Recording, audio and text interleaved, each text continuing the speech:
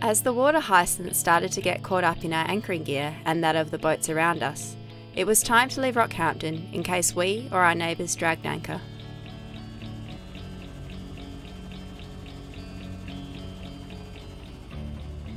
With strong southeasterly winds predicted in the coming days from the direction we were exiting the Fitzroy River, we wanted to get out as soon as possible and had flagged a place on Curtis Island as safe haven from the oncoming blow.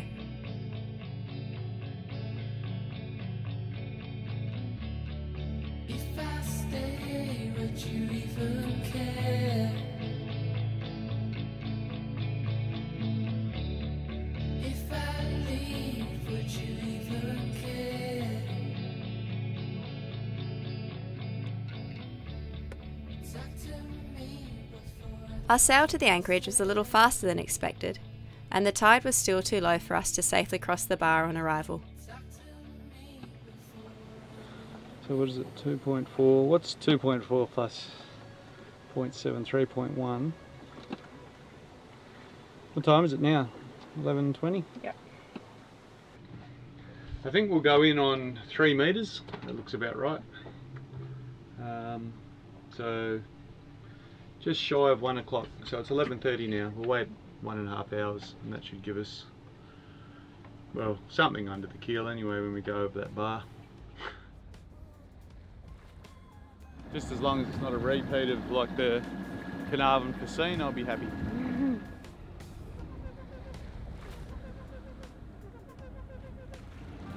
Have you got any idea why they call it Yellow Patch? I'm not sure.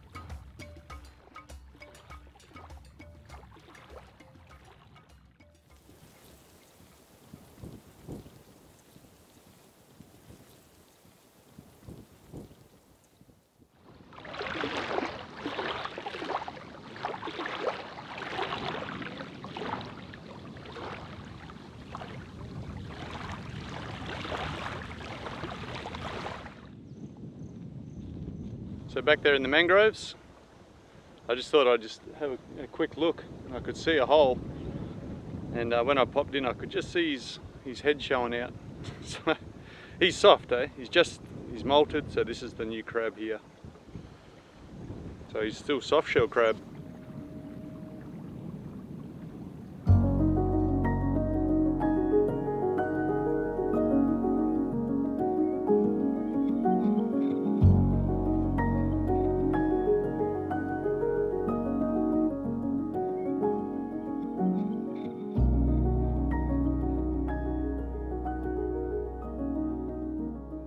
Right, Pasky, what are you holding in your hand? This is the lid from our storage tubs that are down the quarter berth of the boat.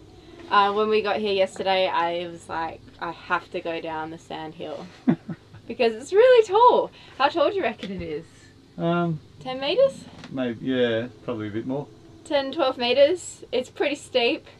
Um, it's sort of high tide now, so even if I keep sliding once I get to the bottom, I'll just land in the water. I want you to keep sliding when you get to the bottom. yeah, that would be cool.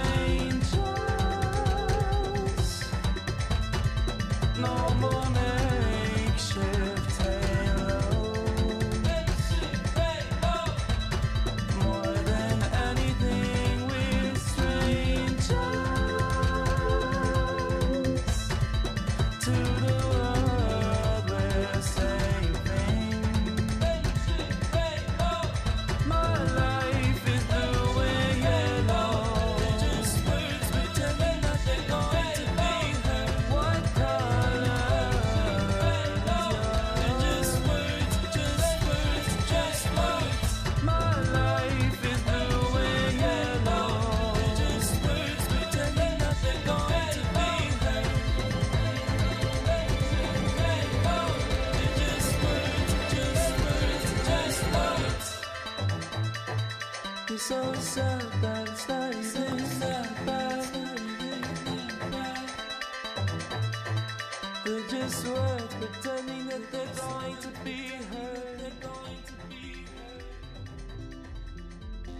following morning, the winds had started to increase to 30 knots.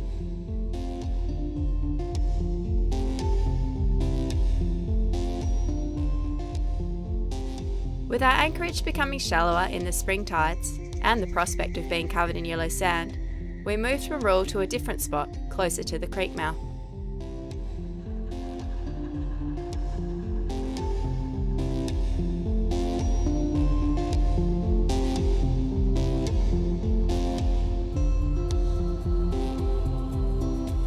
In areas close to towns and cities, popular fish like flathead, whiting, and barramundi come under considerable fishing pressure, but stingrays pretty much maintain a healthy population wherever we go, so we prefer them.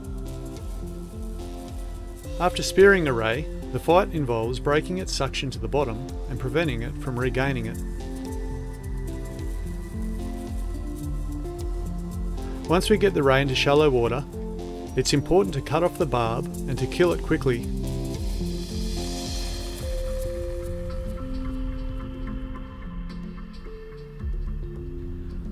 All right, as we've been travelling around, we, we try and pick up as much as we can from um, you know, whatever Aboriginal people that we meet. And one of the things is hunting stingray with, with the spear, as you just saw. Stingrays aren't really exploited as food by a lot of people up here in the north, but we really like them. What do you think they're like, Pasky? Crab? Yeah, yeah, they taste like crab. Hmm. All right. Well, that's what we think anyway.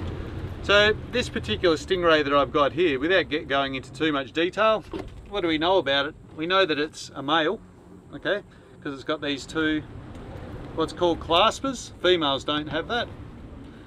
And sometimes, you know, what, what makes up a ray as opposed to a shark? Because they are related. If you look on the top here, excuse the big gashes in the head, but I, I just want to knock its brain out as quickly as possible, stop it from suffering. But these holes just behind the eye, these operculum, that is how you tell that you're looking at a ray, not a shark. Because you'll have, um, some people will see shovel nose sharks, but they're actually called shovel nose rays because they have these operculum. So just like any fish, they've got the gills on the underside, but of course, stingrays spend their, their life with their gills down under. So in order to draw oxygen rich blood in to pass through their gills, they have these holes on the top, operculum. They can look around, they can draw in, they can remain semi-buried in the sand and still breathe quite happily. So that's the difference. If you're ever looking at something, go, oh, I don't know whether it's a shark or a ray.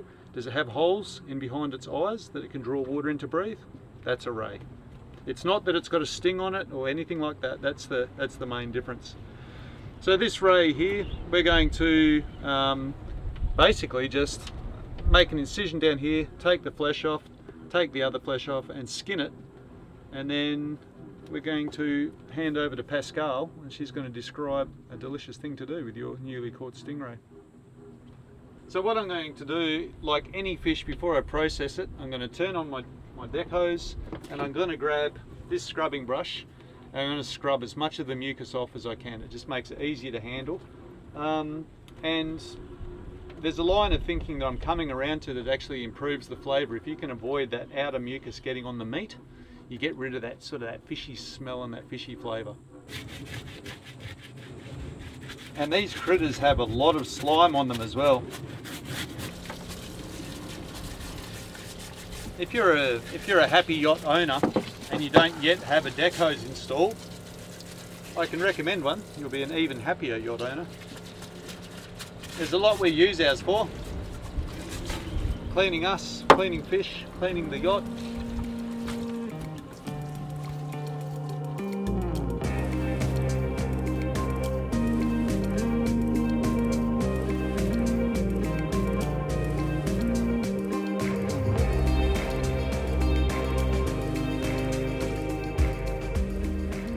Alright, so there we go. From that relatively small stingray, got quite a bit of this meat, absolutely bone free. A little bit unusual to look at, um, but you know, really tasty and fairly fairly straightforward affair. Yum. I think I might make some stingray cakes with it. Perfect. Those Asian omelets you made out of this was unbelievable. I'm sure the cakes will be just as good. So that stingray that Troy filleted up earlier, we actually put that in the pressure cooker and brought it to pressure and then just turned it off. And what we've come out, we've put it in the fridge and what we've come up with is this crab-like sort of flesh. The same thing, I brought some potatoes to pressure in the pressure cooker and cooked them for about five minutes and then peeled them. So these are, this is going to be the base for our stingray crab cakes. So I'm just dicing up some parsley. Finally chopping up some parsley. So I'm going to do some spring onion.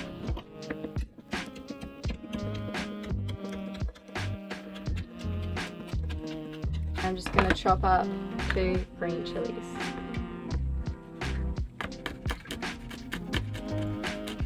Chop up the stingray mixture as well.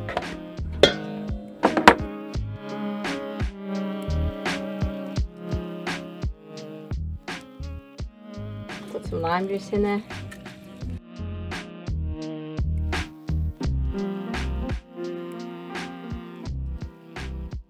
So I'm just gonna bring it together as well with one egg. And We'll just add some salt.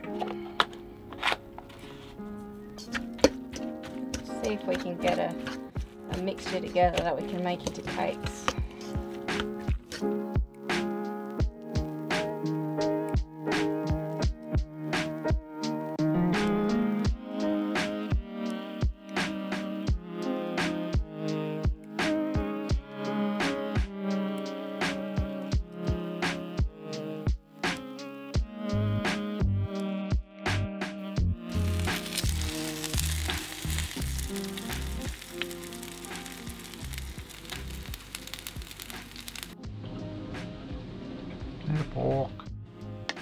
Have a look.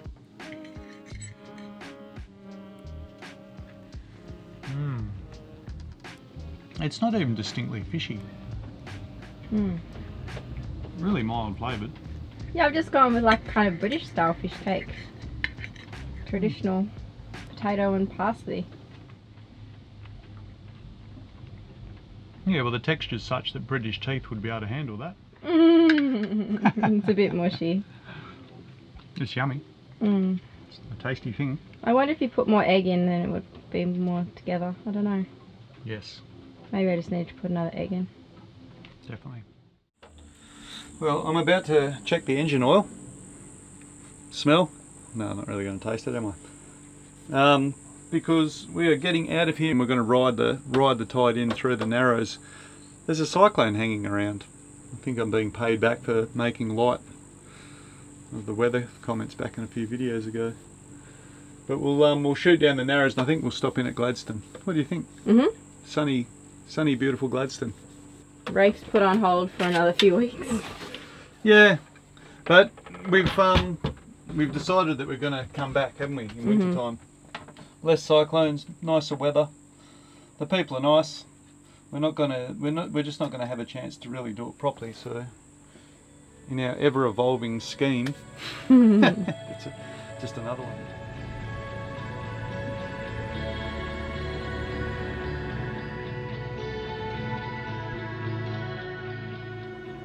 Hmm.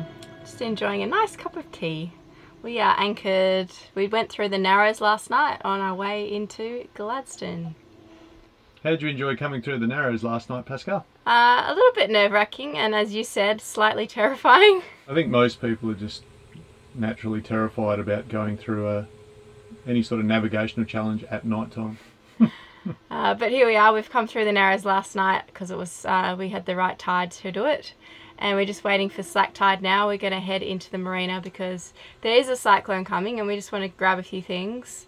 Uh, and then yeah, if if the cyclone does come across this way, then we'll go and scoot out to a creek and get some shelter there. But we're going to spend a couple of days in the marina first, and then we'll make up our plan. We'll decide our plan once we know a bit more about what the the low's doing. We'll have our plan made up for us, in other words. Right. Yep, alright, let's go do it.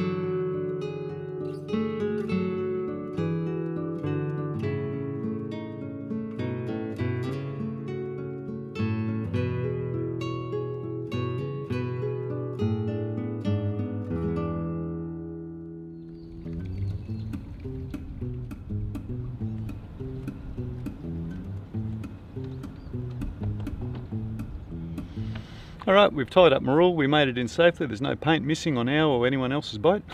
so, um, I just want to have a quick chat about spring lines. We've used these, um, you know, these poly lines here. There's there's hardly any stretch in these. The ideal lines for, for tie-ups would be nylon, wouldn't they? Because they've got some elasticity built in. It looks like um, their job is to stop the boat from going forward and backwards, and that's true. But also what they do is they do act like a spring.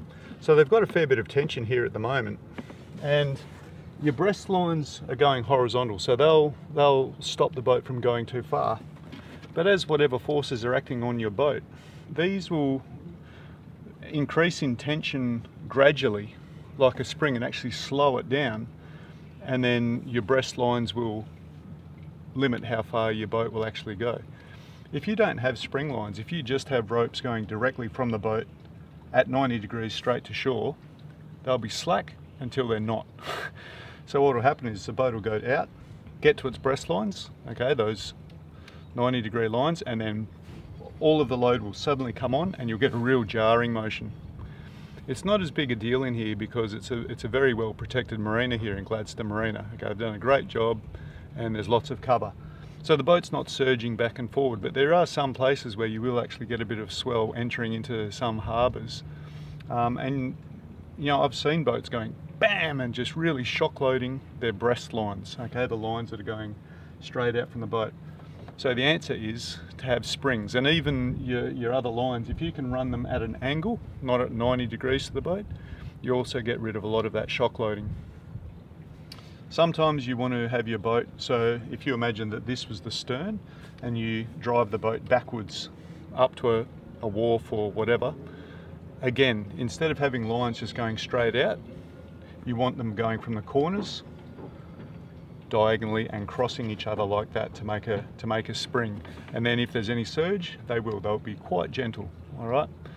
Um, so that's it spring lines. When you look at them some people set them up and they'll just go oh I, I only need them as tight as I need to have it to stop it going forward or backwards. But they do actually serve a bit of a function where they act as a shock absorber. So if you find that your boat is sort of really you know shock loading and jarring and you, you worry about ripping your cleats out maybe just have a think about the tension uh, relationship between your spring lines and your breast lines. Just ease off your breasties and maybe tighten up your springs and just see if that gets rid of some of your shock loading. It's something worth experimenting and thinking about if you're new to boating. Obviously old hands will be like, oh, oh I know all this stuff. But um, yeah, try it out because I've seen a few people that are, you know, springers, there's a lot of functions for them, but that's a really important one. They are actually a spring. Thanks for watching this week, and if you enjoyed the video, don't forget to give it a thumbs up.